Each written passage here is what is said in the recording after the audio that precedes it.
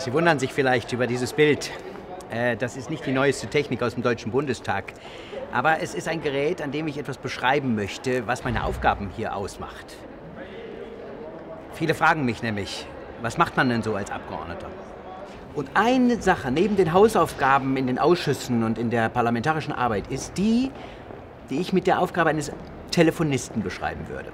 Sie kennen das vielleicht aus alten Filmen. Da sitzt jemand vor Wählscheiben und vielen Löchern und hat viele Kabel. Und dann bekommt er einen Anruf und muss verbinden. Ein Stück weit ist meine Aufgabe im Deutschen Bundestag genau das. Ich habe Chemnitzer, ich höre Sie zu verschiedenen Themen, Beschwerden, irgendwelche Fragen und ich versuche herauszufinden, mit wem kann ich Sie denn verbinden? Ich weiß oft nicht jede Antwort auf eine Anfrage von Ihnen als Chemnitzer, als Bürger, als Interessierten eines Themas. Allerdings, ich weiß denjenigen, der.